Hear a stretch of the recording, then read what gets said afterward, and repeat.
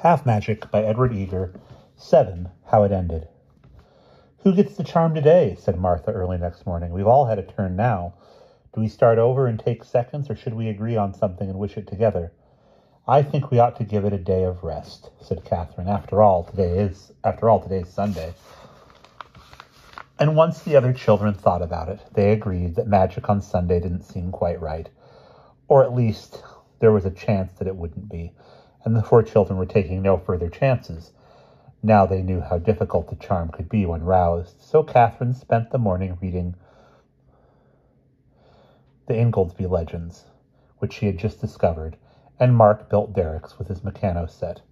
Jane humored Martha by playing dolls with her, a pursuit Jane usually scorned, but she was still feeling kindly toward her family.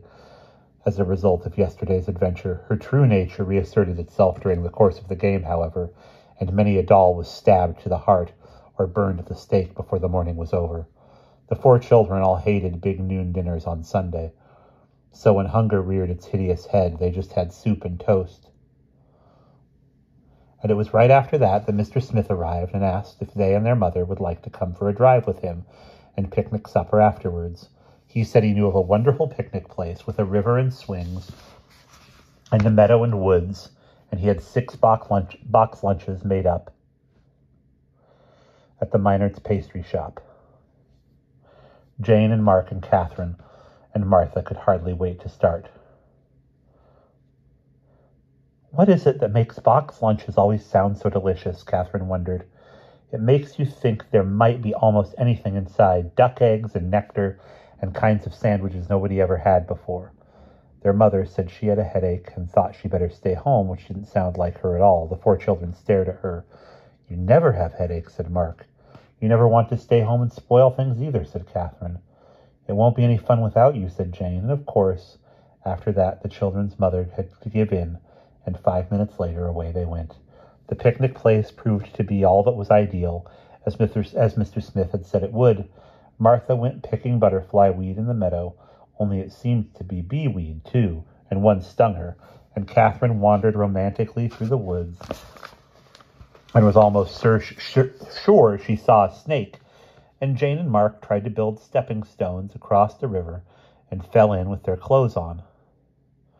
And altogether it was a typical happy family outing. The box lunches turned out to not to contain any duck eggs or nectar, but the sandwiches were sufficiently unusual, and there were deviled eggs and potato salad and lots of little assorted cakes that the children had fun with, deciding which ones they liked best and trying to trade off the others. Supper was eaten round a bonfire deftly constructed by Mark and Mr. Smith, and stories were told and songs were sung until, what with one thing and another, it was long after nine o'clock when they packed themselves into the car once more and drove home through the purple darkness and the four children were all so tired and happy and sunburned and sleepy that they went straight to bed with almost no ado. Martha, as sometimes happens, was so tired that she couldn't seem to go to sleep, and she noticed that Mr. Smith didn't go home right away, but sat talking to their mother for what seemed like hours and hours. And much later in the middle of the night, she woke up, possibly as a result of too many cakes, and was almost sure she heard their mother crying. This couldn't be, of course. Martha had never heard of a mother who cried, and certainly not their mother. So happy and strong and busy and sensible, and the pride of the Toledo Newsbee. She tiptoed to the door and listened, but there didn't seem to be any sound now. She decided with relief that she must have been mistaken and went back to bed and to sleep. But in the morning their mother hardly said a word at breakfast, and her cheeks looked pale and her eyes looked tired, and Martha began to wonder again. After breakfast, when their mother had gone to work, Jane, whose new fa- family devotion continued to shine forth, volunteered to do the dishes alone and unaided, and this brilliant example so bestirred the finer feelings of Mark and Catherine that they insisted on helping. Martha followed them out into the kitchen and sat watching and wondering whether her worries about their mother were too far fetched for her to mention them. Does everyone realize we've had the charm a week now? Jane was saying, scraping toast crumbs off plates and then plunging the plates into soapy water. Really? said Catherine. It seems like months at least. Mark began counting it out. The fire was Tuesday, and the desert was Wednesday. We met Lancelot on Thursday, and went to the movies on Friday. Jane belonged to the other family on Saturday, and we rested on Sunday. And today is Monday, said Jane, the seventh day. I read somewhere that seven's a magic number. Maybe today'll be the biggest wish yet. When you come to think of it, no great big lasting thing has happened so far, said Mark. We've had lots of adventures, but we're still just the same as we were before we found it. Our characters are improved, said Catherine, and I think we're sort of happier. I don't think Mother is, said Martha. Three faces turned to her, and, and what do you mean? said three voices at once, but before Martha could answer, the telephone in the hall began to ring. Mark got to it first, he said. Mark got to it first. Hello, he said. Oh, hi. He turned to the others. It's Mr. Smith. Let me, said Jane, grabbing the phone. Honestly, Mark complained to Catherine. After we had all that hard work getting her to like him at all, at all, now you'd think he were her own special property. Yes, Jane was saying into the phone excitedly. Yes, all right, we will. Yes, right away. She hung up and turned from the phone, looking serious and important. Big council meeting at the bookshop in 20 minutes. Car fare will be refunded. Can we scrape together the wherewithal? The week had been given over so completely to magic experiment that allowances remained practically un- intact. So that was all right. Are we taking the charm? Martha wanted to know. Naturally. What else would an important council be about? said Jane witheringly. Catherine fetched the charm from its hiding place, and the four children waited for a moment when Miss Bick's attention was elsewhere, elsewhere being with the gas meter man, to steal down the front steps hurry out the door, and run two blocks up Bancroft Street before waiting for the streetcar so she wouldn't see them from the window and take unpleasant steps. The ride downtown seemed endless, but turned out at last not to be, and ten minutes later found them hurrying into the bookshop. Mr. Smith rose from his desk and came to greet them. He seemed uneasy. Hello, he said. You were quicker than I expected. Please sit down. I have something to tell you. The four children looked around, but there were piles of books on all the sitting places, so they stayed standing. Mr. Smith didn't seem to notice. He hesitated, cleared his throat, took his handkerchief out and put it away again, and looked at the floor. Dear me, I find this very difficult, he said. I think perhaps first of all you might it might help if you stopped calling me Mr. Smith and called me Hugo. Jane shuddered. I couldn't. That's a terrible name, said Mark ever candid. Maybe if we shortened it, Catherine agreed, or, or Catherine suggested. Hugh isn't so bad. I shall call him Huge, announced Martha independently. After all, he looms large in our future. If you know what is going to happen, you know if he's going to be our. She broke off and uttered the last word in a piercing whisper that carried to all corners of the room. Stepfather! Mr. Smith heard the whisper and a blush mantled his cheeks. Then you know, he said, and here I was wondering how to break it to you. That's what I had to tell you. It's true. I have come to care very deeply for your mother, and I have asked her to be my wife. We thought you would, said Martha. Any day now, said Mark. We think it's wonderful, said Catherine. Especially me, said Jane. Thank you, said Mr. Smith. You are four very pleasant children, and I should be proud and happy to be your stepfather, and you may call me Hugh or anything you like. You may call me Hugh or anything else you like. Uncle Huge, said Mark. It's more respectful. There is only one difficulty, said Mr. Smith. Won't she have you? said Catherine. Is she being coy and hard to please? I could go and reason with her if you like, offered Mark. I'm quite good at it, really. I shall tell her I think she's very a very lucky woman to have landed you, said Martha. Please, I beg of you, do not say anything of that kind, cried Mr. Smith in alarm, blushing again. No, your mother has admitted that she thinks she could care for me in return, but yesterday evening she told me definitively that her answer is no. Or she told me definitely that her answer is no. The reason is that she believes herself to be ill, mentally ill. I leave you to guess why. She noticed she's noticed things, said Jane, us appearing suddenly out of nowhere and things that wish she half got, where she ran out, where she ran into you out on Bancroft Street, said Catherine. Me with all those diamonds and robbers, said Mark. I did hear her crying last night then, said Martha. Oh dear, was she? said Mr. Smith. That's bad, said Mark. And it's all our fault, said Catherine. The four children looked solemn. Then Jane's face cleared. It's all right. We can fix it up, she said. What could be simpler? We'll confess. We'll tell her the whole thing from the beginning. Do you think she'll believe it? said Mr. Smith. Remember, your mother is a very practical person. Stubborn, too, agreed Catherine. We could show her, suggested Mark doubtfully. We could have the charm take her somewhere. That's it! Jane's eyes were shining. We'll let her wish. We'll give her whatever her heart desires. This will be the best deed yet. Come on, let's go over there now. Let's go over there right now. Don't do be careful, said Mr. Smith. Hadn't we better plan it out first? But his words were wasted on the bookshop air. Jane had the charm in her hand, and rashly, excitedly, without thinking what she'd do when she got there, she wished. She wished. The next moment they were in their mother's office. The children's mother was women's club editor of the newspaper, and that meant she wrote all those little pieces that say which ladies are going to meetings at which other ladies' houses and what they are going to have to eat. It wasn't a very important job, and her office was tiny, and today it was already quite filled by a fat lady who was telling their mother all about the potluck pageant she was planning to give for the League of Needless Women. So that when Jane and Mark and Catherine and Martha and Mr. Smith were suddenly all there in the office, too, it made quite a crowd. Oh! cried their mother, turning pale as the five familiar figures appeared out of nowhere before her gaze. There it is, happening again. Really? said the fat lady to Jane and Catherine and Martha, who were wedged tightly against her. Stop shoving! I'm sorry, but we haven't time for you now, said Jane to the fat lady, and she whisked her twice as far as where she belonged. The lady was quite annoyed to find herself suddenly at home in her own kitchen, and later sued the newspaper for witchcraft but she was never able to prove her case, and anyway, that does not come into this story.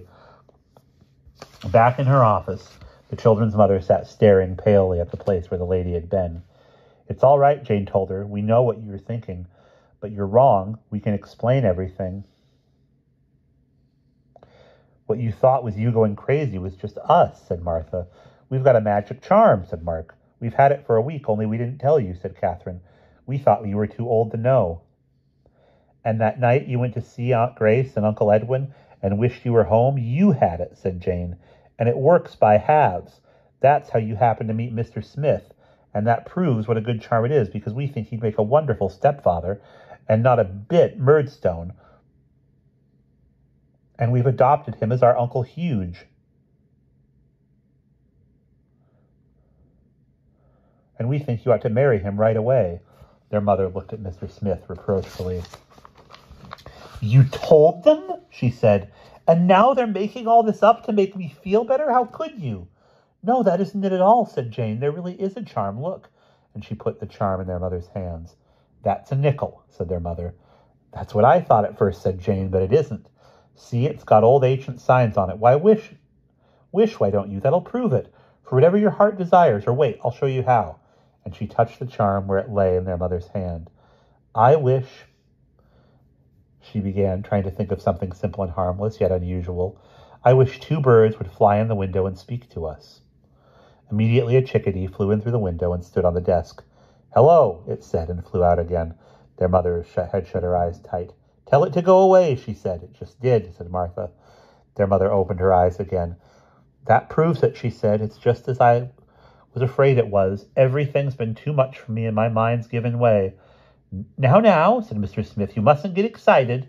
But Mark interrupted him. Honestly, he said to Jane in disgust, making birds come in and talk to her. No wonder she thinks she's crazy. Whose heart's desire would that be? No, don't you remember how she always used to say she wanted to be city editor of the paper someday? Let me have that. And he took the charm from, from Jane. Careful, said Mr. Smith. It's all right. I know what to say. Mark reassured him, and he wished. The owner of the newspaper walked into the office. Ah, dear lady, he said, how happy you look with your little family around you. Their mother turned a woebegone face upon him and said nothing. What part of mother's little family is Mr. Smith? whispered Catherine to Mark, giggling. Shush, said Mark. We are making some changes in the organization, the owner of the paper went on, and I am glad to tell you that from this moment you may consider yourself city editor, not a size at, at a sizable increase in salary.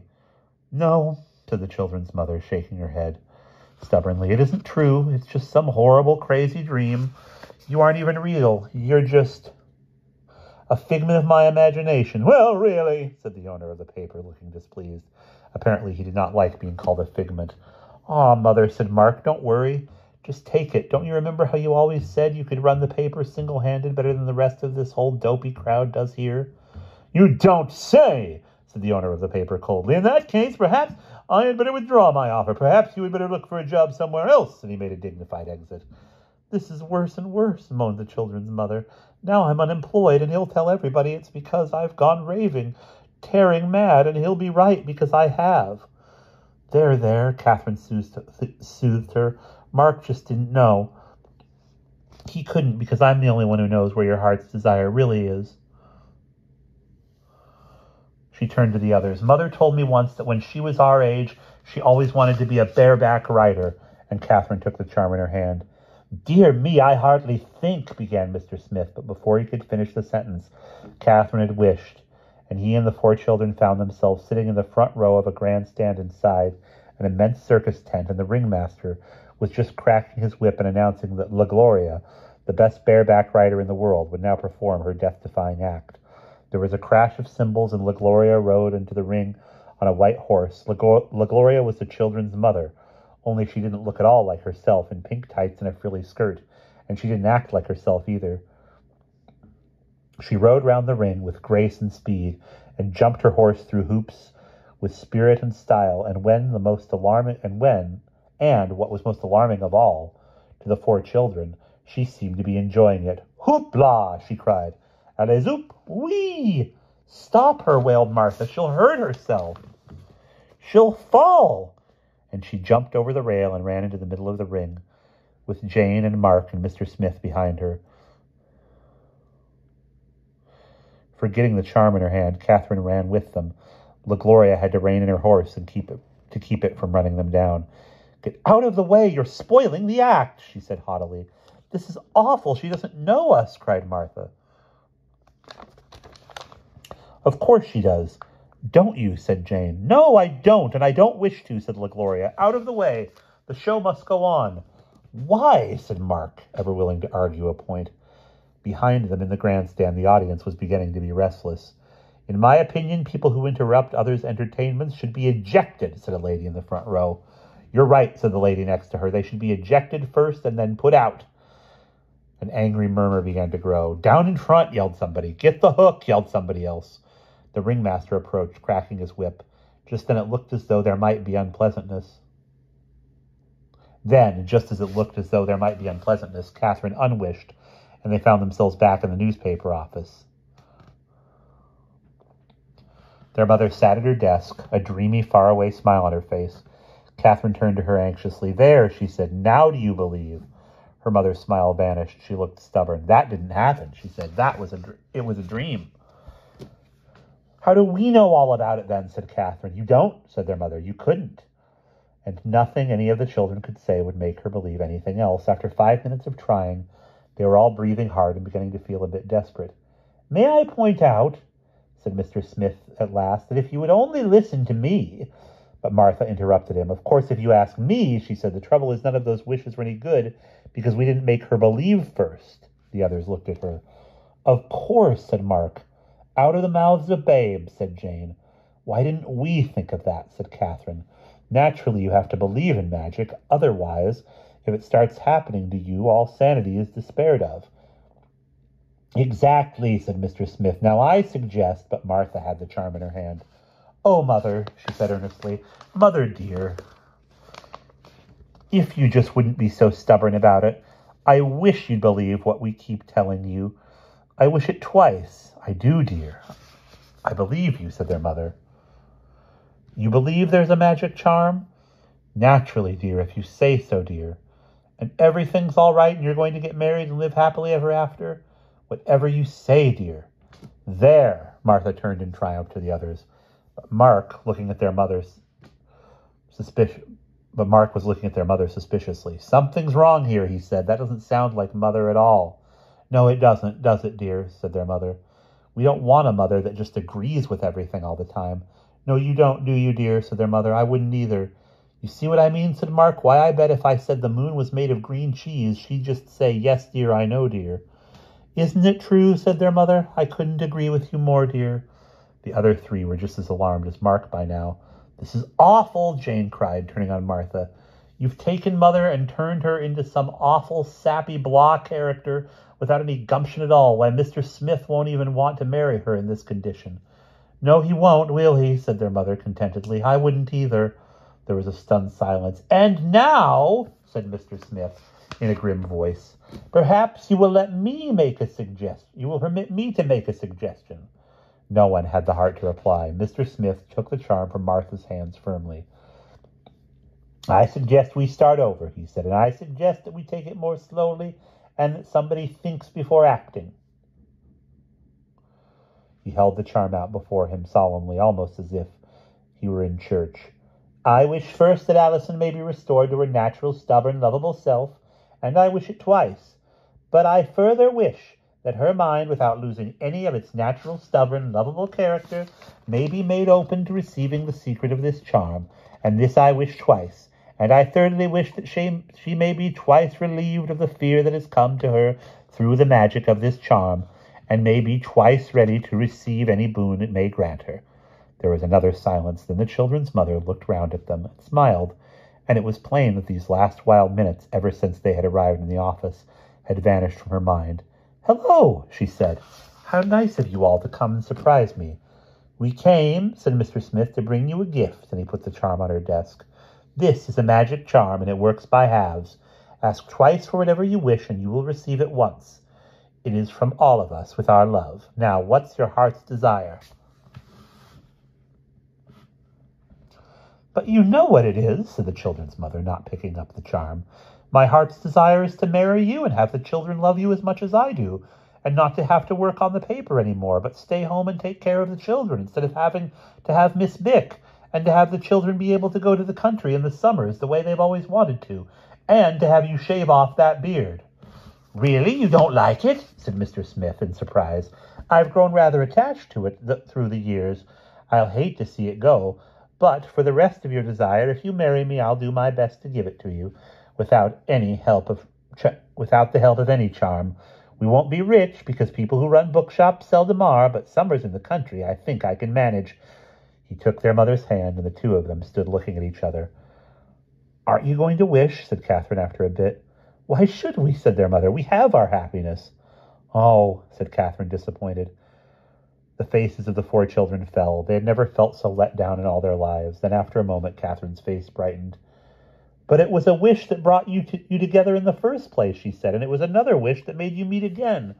It was really the charm that caused everything, in a way. Maybe that's the one big important thing it came into our lives to do, said Mark.